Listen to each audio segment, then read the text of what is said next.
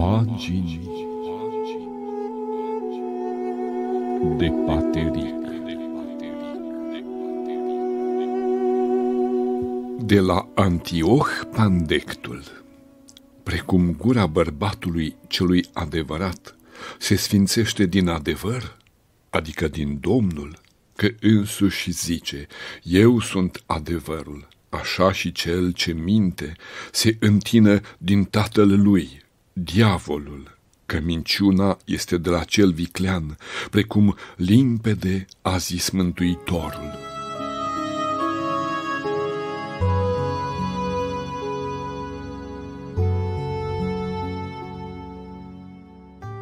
De la Sfântul Isaia Pusnicul Să nu lauzi decât cele ce le-ai văzut, iar cele ce le-ai auzit să nu le spui de ca și cum le-ai fi văzut. Învață-ți limba într cuvintele lui Dumnezeu, într-o cunoștință și minciuna să fugă de la tine.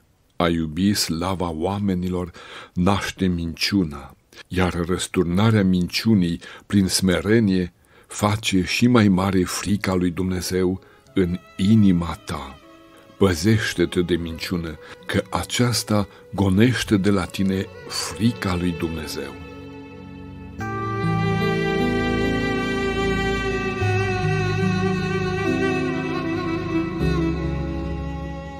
De la Ava Marcu Gura celui smerit va grăi adevărul, iar cel ce se împotrivește adevărului este asemenea slugii acelia ce a pălmuit pe Domnul peste obraz.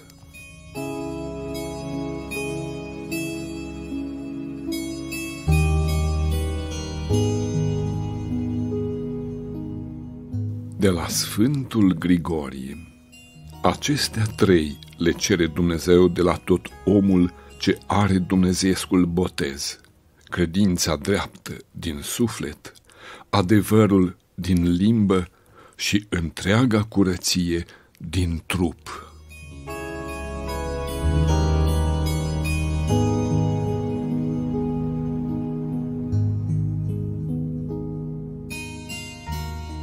De la Sfântul Efrem, odinioară, făcând frații noaptea lucru de trebuință, iarnă fiind, unul din trânsii, supărându-se de gel, s-a întors în chilia sa, iar altul cârtea asupra lui și a trimis la dânsul pe un frate ca să-l cheme.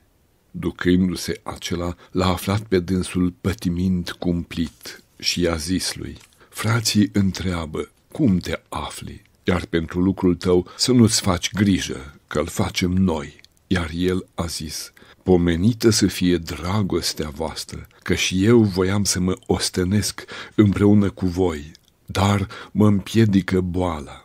Și întorcându-se acesta către cei ce l-au trimis pe dânsul, le-a zis lor, foarte pătimește fratele, și mi-a zis că și el voia să se ostenească împreună cu noi, dar nu poate. Acesta este cel ce a împlinit economia într-o minciună, adică făcător de pace fiind, nu a dat în vileag cârtirea și gândul rău.